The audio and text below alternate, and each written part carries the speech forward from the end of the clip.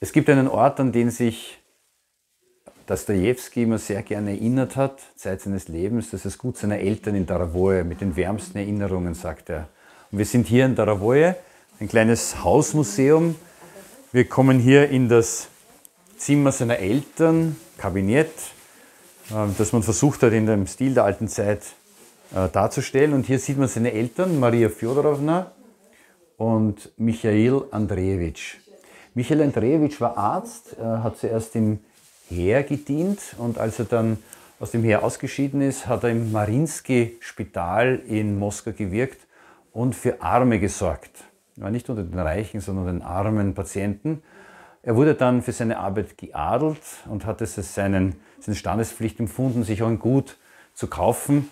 Und man hat hier lange gesucht und schließlich das Gut in Daravoje gefunden. Das ist ungefähr 10 Kilometer von Saraisk entfernt. Saraisk ist südöstlich von Moskau. Dieses Haus, Museum, Dom Musee, drückt sehr schön aus die Einfachheit des Lebens einer armen adeligen Familie, muss man sagen, also nicht sehr wohlhabenden. Kurz nachdem sie eingezogen sind, 1831, äh, ist das Gut abgebrannt, 1832, und alle 77 ähm, Leibeigenen, die gelebt haben, haben auch ihre Häuser verloren. Deshalb hat die Familie beschlossen, jedem, jeder Familie, es waren elf Familien, 50 Rubel zu geben. Das war damals eine große Summe, damit sie ihre Häuser wieder aufbauen.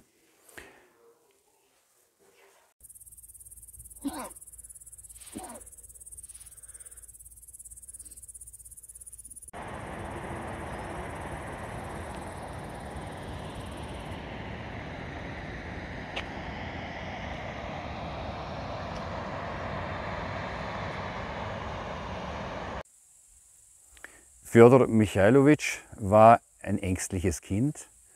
Äh, in diesen vier Jahren hier gelebt hat, hat er immer wieder Angst gehabt, übers Feld zu gehen, berichtet er selbst, und zwar in der Erzählung Mujik Mare. Und da war ein alter Mann, der hat ihn ermutigt, er hat sich immer gefürchtet vor den Wölfen und er konnte erstes Mal alleine über das weite Feld laufen.